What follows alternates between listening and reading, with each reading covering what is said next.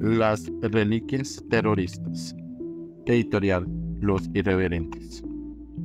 Desde los orígenes del cristianismo se ha rendido culto reverencial a las reliquias, particularmente a los objetos que se considera pertenecieron a nuestro Señor o que fueron implementados durante su pasión. Cuando se desató la conflagración en la Catedral de Notre Dame de París, una de las mayores preocupaciones de los encargados de controlar las llamas fue la de evitar que la corona de espinas que sobre su cabeza llevó el Salvador fuera consumida por el fuego. En la bóveda de esa catedral estaba guardada esa importante reliquia que infortunadamente fue rescatada por los valientes bomberos que se jugaron la vida por salvarla. En el Catecismo de la Iglesia Católica, sección 2132, se hace referencia expresa a las imágenes, estableciendo que el culto hacia ellas no es contrario al primer mandamiento que proscribe los ídolos.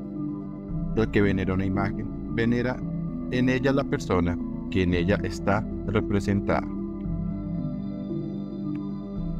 El Papa Benedicto XVI explicaba a los asistentes a la Jornada Mundial de la Juventud de 2005 que las reliquias nos señalan a Dios mismo, que Él es quien, por el poder de su gracia, concede a los seres frágiles el valor de dar testimonio de Él ante el mundo.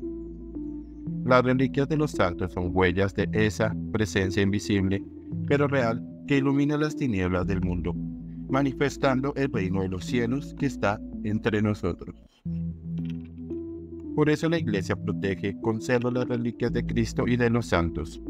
Son veneradas, son respetadas y son tratadas con la delicadeza que corresponde porque se trata precisamente de objetos que pertenecieron a seres excepcionales por su bondad, por sus virtudes o porque fueron martirizados por defender la fe.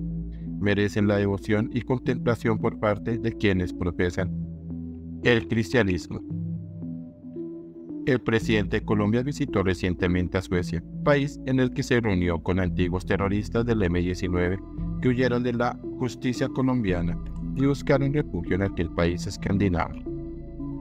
Sus socios en la criminalidad, con toda apulosidad, depositaron en sus manos una sucia corrosca que, alegan, perteneció al genocida Carlos Pizarro León Gómez, jefe del M-19 durante los años en que esa organización delictiva fungió como brazo armado de Pablo Escobar.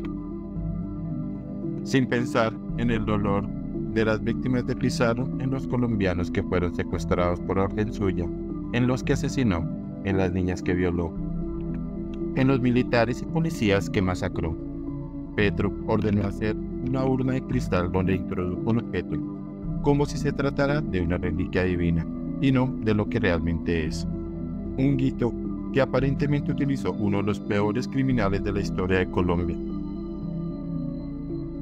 delirantemente dijo que ese adminículo es un bien de interés cultural, expresión que naturalmente acrecentó la ira ciudadana. En aras de calmar los ánimos comprensiblemente saltados, el Ministerio de Cultura tuvo que salir a desmentir al presidente, por medio de alegatos leguleyos con los que se pretende dar a entender que las palabras de Petro no son suficientes para que esa prenda empiece a ser parte del patrimonio cultural de Colombia. El punto del asunto, más allá de los requisitos legales que deben cumplirse para formalizar dicha designación, es la alevosía del mandatario que se burla de todos los colombianos y particularmente de las víctimas del M-19. No deja de ser impactante además la ruindad del gobernante, un tipo sucio y corrompido moralmente, que en vez de acercar a los ciudadanos y de propender por la concordia y la tranquilidad, incendia, polariza y permanentemente estimula el odio avivando viejos dolores. No, el chapelo de Carlos Pizarro no es una reliquia, sino un símbolo del mal y un objeto que recuerda la existencia de una persona despiadada que murió sin pagar ante la justicia de los hombres por todas las atrocidades que cometió.